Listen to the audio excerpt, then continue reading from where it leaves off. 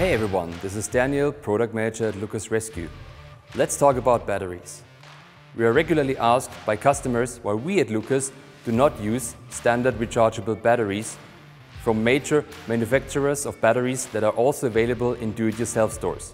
And there are two essential reasons why we at LUKAS rely on our own developed batteries. The first reason is the outstanding performance of our self-developed batteries.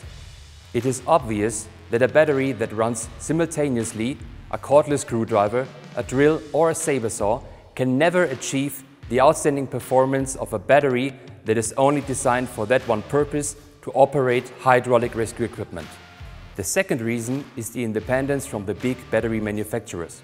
We have absolutely no influence on the strategies of these companies and cannot intervene if one of these manufacturers decides to exchange the existing battery program. Consequently, a supply of replacement batteries cannot be guaranteed. With our newly developed battery range for our eWXT tools, we can offer batteries with two different capacities, 9 amp hour and 5 amp hour.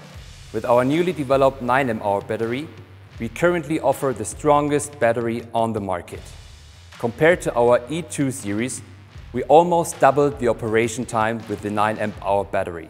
Furthermore, we have the only batteries IP68 rated on the market, which means that the batteries can be used up to 60 minutes in 3 meter deep fresh water.